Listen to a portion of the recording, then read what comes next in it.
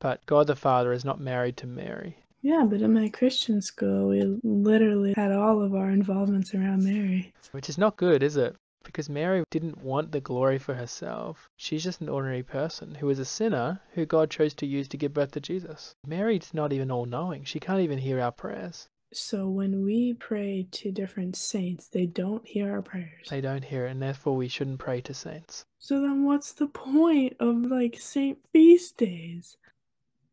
Nothing? Nothing at all. Wow. My whole life has been a lie. That's why you always want to check it with the Bible, yo. Check it with the Bible. I thought I was. But you'll never see anyone in the Bible pray to a saint.